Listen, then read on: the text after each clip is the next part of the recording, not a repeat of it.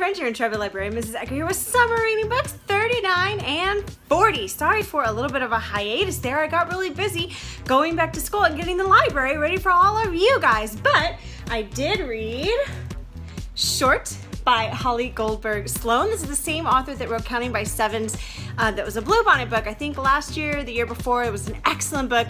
And this book is also really cute about a girl who joins a theater production of The Wizard of Oz during the summer and learns all sorts of uh, fun stuff during that. It was really cute and well written. I really liked the voice of the character. She was real fun and quirky. So definitely check out this book, Short.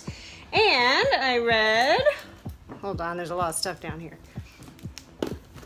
Ghost by Jason uh, Reynolds. This is the story of a young boy who joins a track team and kind of discovers that he's really, really good at it and it's something he wants to do. Really well told. Also an excellent story. I loved all the characters in this one too. And this is part of a series, so there are going to be other ones as well. I can't wait to read those. Tell me what you're reading here on YouTube. Be sure to hit subscribe.